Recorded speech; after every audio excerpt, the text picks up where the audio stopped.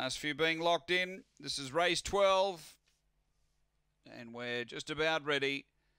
Light on, set to race. Best of luck, punters. Final event of the day. We're ready.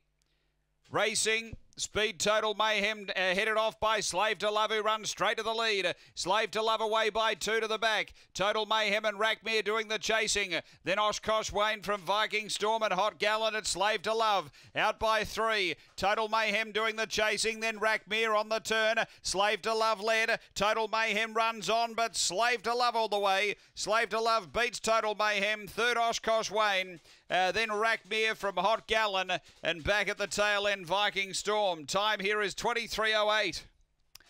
Race 12. Number 8 the winner. Slave to Love had good support and he was able to carve over, find the early